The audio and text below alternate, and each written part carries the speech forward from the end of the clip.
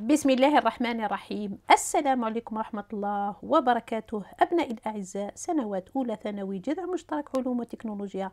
أهلا ومرحبا بكم إلى قناتكم للرياضيات وللفيزياء أيضا. في هذا الفيديو جبت لكم الجزء الثاني من الحركة والقوة والمرجع.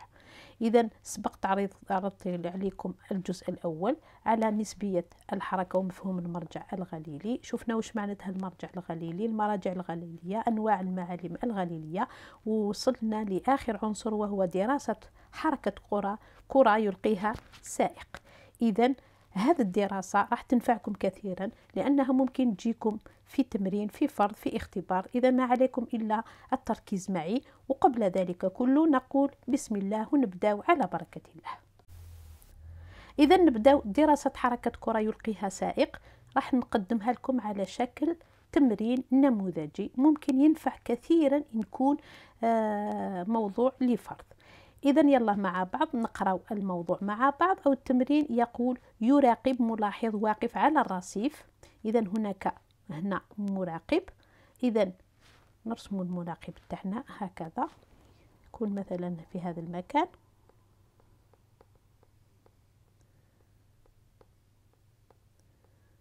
ها نسميه مراقب. إذا نكمل على الرصيف ثلاث نقاط. أ هذه هي النقطة على الباب. نقطة على الباب السيارة سي هي نقطة من إطار العجلة. أما النقطة ب فهي آه، مركز العجلة. من سيارة تتحرك بحركة مستقيمة منتظمة. إذا هذه المعلومة مهمة جدا جدا. حركة مستقيمة منتظمة سرعتها 20 كيلومتر على الساعة في الساعة. كما هو موضح في الشكل هذا هو الشكل. إذا شرحنا A B C ثم بعد. إذا نبدأ على بركة الله مع السؤال الأول. وش يقول السؤال الأول؟ إلى أي معلم يمكن نسب حركة السيارة؟ بما أن السيارة موجودة على الأرض إذا نقول يمكن نسب هذه حركة السيارة إلى المعلم السطحي الأرضي. ثم بعد ذلك هل هذا المعلم عطالي؟ يقصد المعلم السطحي الأرضي. نعم معلم السطحي آه هذا المعلم عطالي لأنه ساكن أثناء مدة الحركة. وبما أنه ساكن فإنه يطبق مبدأ العطالة إذا نكتب ثم بعد ذلك نجي للسؤال إذا تنسب الحركة إلى المرجع السطحي الأرضي والذي نعتبره معلما عطالي لأنه ساكن أثناء مدة الحركة. إذا يحقق مبدأ العطلة. نجي للسؤال الثاني. وش يقول السؤال الثاني؟ إذا نقرأ مع بعض. يقول حدد قيمة سرعة النقطتين A و B بالنسبة للسائق ثم للملاحظ. هنا دائما كيطلب منكم هنا عندي مرجعين السائق والملاحظ. راح ندير جدول. إذا نكتب تحديد نكتب تحديد عفوا إذا نكتب تحديد قيمة السرعة عند للنقطتين. A و B وندير جدول أرسم فيه جدول ندير للسائق. إذا هنا ألف ندير بالنسبة للسائق. للسائق. هنا باء بالنسبة للملاحظ. للملاحظ. يلا نبداو مع بعض. إذا نروح نشوف آه بالنسبة للسائق بالنسبة للنقطتين. شوفوا معايا. هنا النقطتين أ موجودة على باب السيارة والنقطة ب موجودة آه، في مركز العجلة. إذا النقطة بالنسبة للسائق هنا مثلا هنا هذا هو السائق؟ هذا هو السائق. إذا بالنسبة لس إذا النقطتين A و B بالنسبة للسائق هذا هو السائق. إذا راح تكون قلت ساكنتين. وبالتالي راح تكون السرعة معدومة إذا نكتب V راح نرمز لها V. السرعة بالنسبة للنقطة A عند النقطة A والسرعة عند النقطة B راح تكون صفر والوحدة مدونة بالكيلومتر على الساعة. هذا بالنسبة للسائق. نولي بالنسبة للملاحظ. إذا بالنسبة للملاحظ إحنا النقطتين. هنا و A و B غير ساكنتين متحركتين. إذا السيارة تسير بسرعة. قدرها مدوها لنا هي عشرين كيلومتر في الساعة. إذا بالنسبة للملاحظ سواء النقطة A أو B راح تكون لهم نفس السرعة وهي سرعة السائق. وبالتالي بالنسبة للملاحظ راح تكون سرعة A قيمة سرعة A عند النقطة A تساوي قيمة سرعة عند B وتساوي عشرين كيلومتر على الساعة. ندير نفس الوحدة اللي مدوها لنا. ثم بعد ذلك نكمل السؤال الذي يليه. شوفوا معايا. نعمل الخط تاعي إذا ندير خط. ثم بعد ذلك السؤال الذي يليه. سؤال أربعة. أثناء الحركة أثناء حركة السيارة أثناء حركة السيارة يتحرك يترك يترك السائق كرة تسقط من يده دون أن يقذفها يعني بدون سرعة ابتدائية. ألف أو عفوا نسينا السؤال الثالث. يقول مثل شكل مسار النقاط A B C كما يراها كل من السائق والملاحظ. إذا نكمل على نفس الجدول. شوفوا معايا أكمل على نفس الجدول باش ندير دائما بالنسبة للسائق وبالنسبة للملاحظ. هكذا أعيد السطر تاعي إذا راح ندير شوفوا معايا يقول تمثيل هنا راح نكتب فقط العنوان تاع تاع السؤال تاعي. إذا نكتب ثالثا تمثيل شكل أو مسار شكل مسار النقاط. A B و C. راح نمثلها بالنسبة للسائق هنا بالنسبة للسائق وهنا بالنسبة للملاحظ. شوفوا معايا. إذا هنا نكتب بالنسبة للسائق نعاود نكتبها. هنا ب بالنسبة للملاحظ. شوفوا معايا. هنا هاي لك النقطة. أ هذه هي النقطة أ هذه النقطة ب وهذه النقطة سي. إذا بالنسبة للسائق السائق راه في داخل السيارة. هاوليك السائق إذا النقطتين A و B قلنا أنهما ساكنتين. إذا المسار تاعهم كيف يكون؟ راح يكون نقطة. إذا ما عندهمش مسار ليس لهم مسار. إذا نكتب أولا بالنسبة للسائق نبدأ بالنقطتين A و B إذا A و B ساكنتين بالنسبة للسائق وبالتالي مسارهما كيف يكون؟ شكل المسار راح يكون نقطة. إذا نكتب النقطتين. A و B ساكنتين بالنسبة للسائق. باش نذكركم فقط. وبالتالي المسار يكون نقطة. ما عندهمش مسار ليس لهم مسار. ثم بعد ذلك هذا بالنسبة للنقطة A و B. الآن بالنسبة للنقطة C. النقطة C كيف يكون مسارها؟ هي على إطار العجلة. راح يكون مسارها كيف يعني يشوفها؟ السائق. السائق راح يشوف مسارها دائري. حدير دائرة هكذا.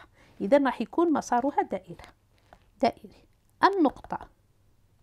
سي نكتب مسارها دائري ونرسم المسار الدائري نكتب هكذا فقط. ثم بعد ذلك شوفوا معايا أكمل بالنسبة للسائق. الآن بالنسبة للسائق. بالنسبة للملاحظ شوفوا معايا الملاحظ راه في هذا المكان. هنا الملاحظ تاعي. نكتبو في هذا المكان ملاحظ. اذا الملاحظ كيف راح يشوف النقطتين A و B راح يشوف النقطتين A و B راح يشوفها بما أن نقطة المركز العجلة راح تكون ثابتة. النقطة A أيضا راح تكون ثابتة بالنسبة أو ساكنة. إذا النقطة A و B آه راهي عفوا النقطة A و B تقع على آه السيارة. وبالتالي راح تكون المسار تاعها راح يكون مسار بالنسبة للملاحظ راح تكون مسار مستقيم. إذا النقطتين راح نكتب النقطتين النقطتين نحدد كل النقاط. إذا نكتب النقطتين. بما أنهما على آه، السيارة والمسار تاعي مستقيم. مسار مستقيم. فإن النقطتين A و B راح تكون مسار مسارهما مستقيم. راح يكون هكذا. مسار مستقيم بالنقطة ل A و B. نجي للنقطة C. النقطة C كيف يراها الملاحظ؟ راح يراها النقطة C على مسارها منحني. إذا النقطة C مسارها منحني لأنها تقع على إطار العجلة هذا بالنسبة للسؤال الثالث. السؤال الرابع وش يطلب مني؟ شوفوا معي السؤال الرابع. إذا يقول أثناء حركة السيارة يترك السائق كرة تسقط من يده دون أن يقذفها. يعني ما يمدلهاش سرعة ابتدائية. السؤال ألف حدد طبيعة حركة الكرة بالنسبة للسائق ثم بالنسبة للملاحظ. إذا نشوف السؤال الرابع. شوفوا معايا نكتب السؤال الرابع. إذا نكتب رابعا نكتب تحديد طبيعة حركة الكرة وندير بالنسبة ألف بالنسبة للسائق للسائق وهنا نكتب بالنسبة للملاحظ. ندير خط هكذا نكتب هنا بالنسبة للملاحظ. نبدأ. إذا كيف تبدو أو ما هي حركة الكرة بالنسبة للسائق؟ شوفوا معي السائق كلما عندما يقذف كرة نمحي كل هذا شوفوا معي عندما يقذف السائق الكرة هنا هذا هو السائق عندما يقذف كرة يقذفها راح في كل مرة تسير السيارة في كل مرة راح يراها أنها راح يعني تنزل شقوليا على سطح الأرض. إذا راح يكون المسار تاعها مستقيم ولكن السرعة تاعها تتزايد. إذا وبالتالي تخرج لي طبيعة الحركة تاع الكرة راح تكون نمثلها هكذا. مثلا نمثل هذه هي الكرة راح تكون على مسار مستقيم. إذا أولا ندير المسار تاعي هكذا مسار مستقيم ويكون شاقولي ثم نرسم الكريات الكرة تاعي المسار تاعها وتكون المسافات هكذا. هكذا. هذا مثلا ندير هذا هو سطح الأرض إلى غاية أن تصل إلى الأرض. وبالتالي نقول أن الحركة هنا في هذه الحالة كما يراها السائق راح تكون هذا هو الرصيف. راح تكون طبيعة الحركة هي حركة مستقيمة مسار مستقيم. متسارعة. لماذا متسارعة؟ لأن السرعة تزداد. المسافات شوفوا معي المسافات تزداد. مسافة بين كل موضع وموضع تزداد وبالتالي السرعة تكون سرعة متزايدة. أما بالنسبة للملاحظ عندما يراها الملاحظ هنا الملاحظ راح يراها كأنها نمحي هذا. أما بالنسبة للملاحظ الملاحظ عندما يقذف السائق الكرة راح يراها هكذا راح يراها هكذا. يعني نفس الكرة هنايا نفس الحجم راح يراها مسارها شكل منحني. إذا نكتب هنا نرسم المسار راح يكون مثلا الكرة تاعي هكذا ثم هكذا. في كل مرة الملاحظ تاعها الملاحظ تاعي راح يرى الكرة تاعي راح يكون هذا مثلا الرصيف. راح يكون شكلها مسار أو مسارها مسار منحني هكذا. إذا نقول هنا مسار مستقيم. ونزيد له شاقولي. دائما نفس الملاحظات نفس الشيء إذا غيرنا السائق بطيار مثلا إذا غيرناه بشيء آخر عندما يقذف كرة بدون سرعة ابتدائية راح يكون نفس طبيعة الحركة ونفس المسارات. هنا مسار منحني والسرعة تتزايد. وبالتالي تخرج لي طبيعة الحركة هنا تخرج لي طبيعة الحركة هي حركة نقول منحنية ندير المسار تاعها ومتسارعة. أتمنى فقط أن يكون واضح لحد الآن. إذا بقى لنا هذا السؤال ألف. إذا نكتب هنا ألف.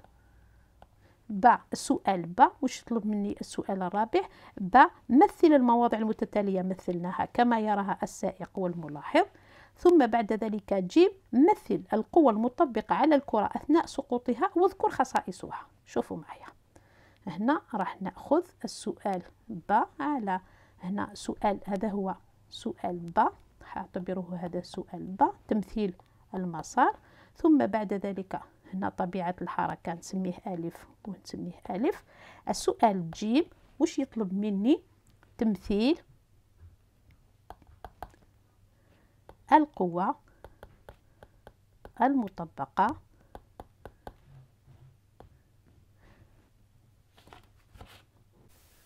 إذا راح أمثل لكم القوة المطبقة على الكرة أثناء سقوطها. بالنسبة للسائق وبالنسبة للملاحظ. شوفوا معايا. بالنسبة للسائق كنا مسارها مستقيم. بالنسبة للملاحظ مسارها منحني.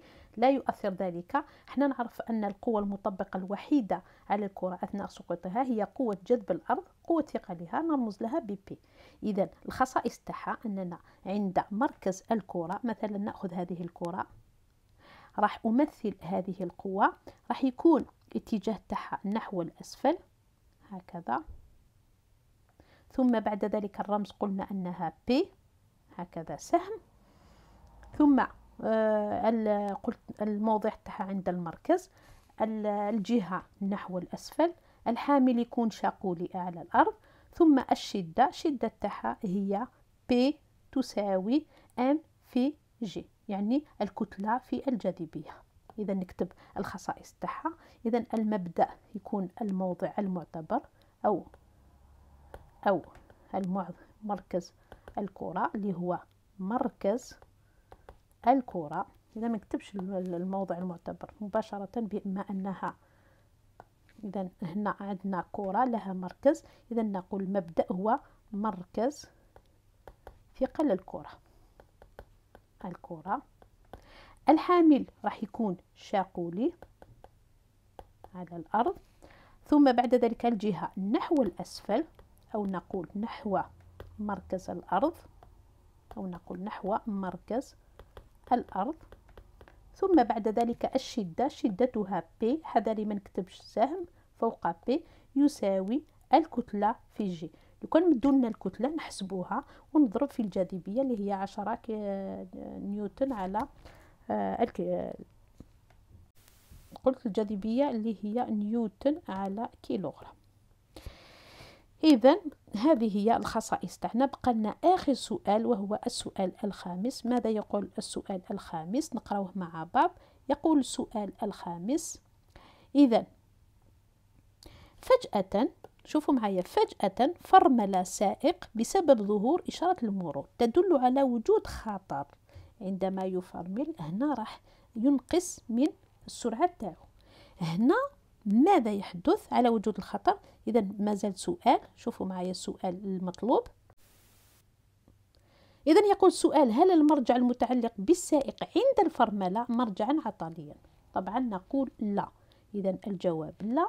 لماذا؟ إذا لا يعتبر مرجعا عطليا. لماذا؟ لأنه لا يحقق مبدأ العطلة. لأنه لا يحقق مبدأ العطلة.